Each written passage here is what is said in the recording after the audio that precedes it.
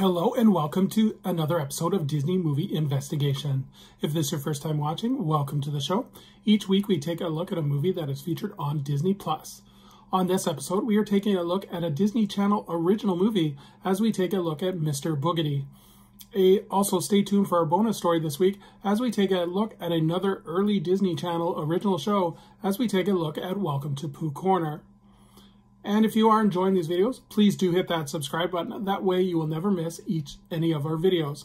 But for now, sit back and enjoy this episode of Disney Movie Investigation.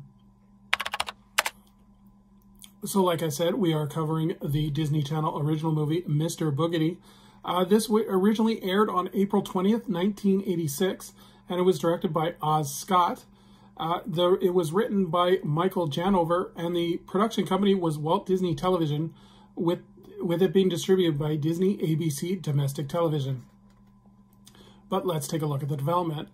So writer Michael Janover was approached by the comedy duo Cheech and Chong to write a horror parody of The Exorcist, of The Exorcist, and Janover wrote the script, but the movie was put on on the shelf for many years. Eventually, Dis- executives at Disney were shown the script and they liked the comedic tone.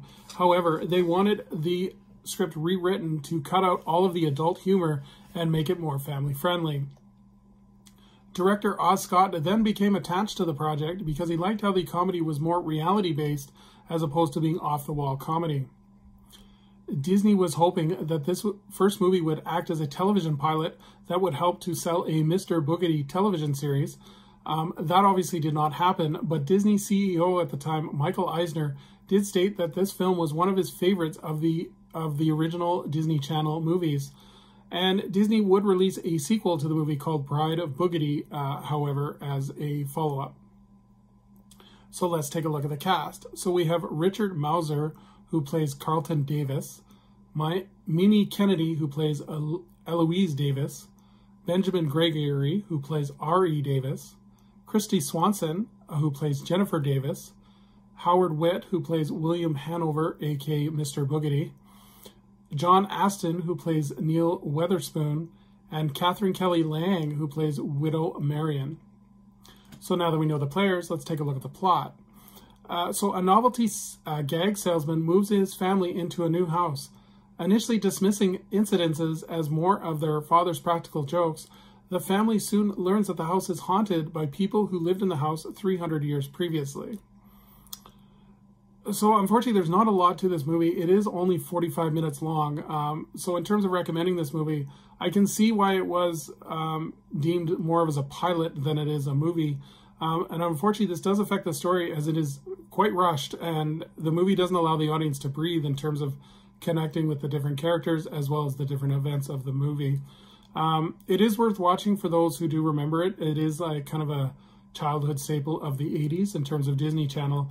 Uh, but it, unless you have a nostalgic rec, um, memories of it, I would I would unfortunately just say skip it. Um, it's just not long enough to be really memorable. So let's move into our bonus story where we look at some of the original Disney Channel shows.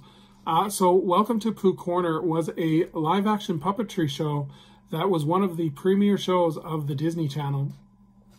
It featured the characters from the Winnie the Pooh franchise in human sized puppet suits, with the exception of Roo, who was in an actual pop, who was an actual puppet. The show was released on April 18, 1983, and it had original episodes until December of 1984, but it would continue to run in reruns until 1997. In terms of the show, a narrator would start the show welcoming viewers and talking about an event that happened in Pooh Corner. The show was filmed in front of a blue screen, and it would, and the the Pooh characters would act out the tales as told by the narrator. The show had no commercial breaks because at the time, uh, Disney Channel was a premium channel, so they did not have to worry about commercial funding, and the show would last for a full 30 minutes. The main story uh, of the episode would last for about 20 minutes, and then a short music video featuring an original song would then play, and then finally, the last segment would be a uh, arts and crafts segment where one of the Winnie the Pooh characters would show a craft that the kids could do at home.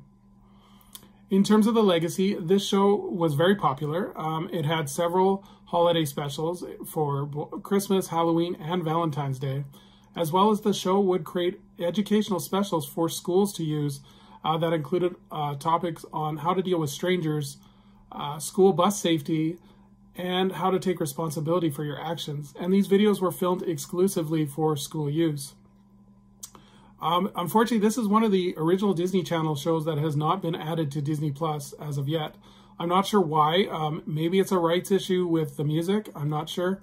Um, because there was several, like every show had an original song in the show. Um, in terms of my memories, uh, I don't remember a lot of it because I was a little bit young for when this, uh, like when this originally aired. I remember seeing an episode here and there on Disney Channel, and I thought it was quite memorable.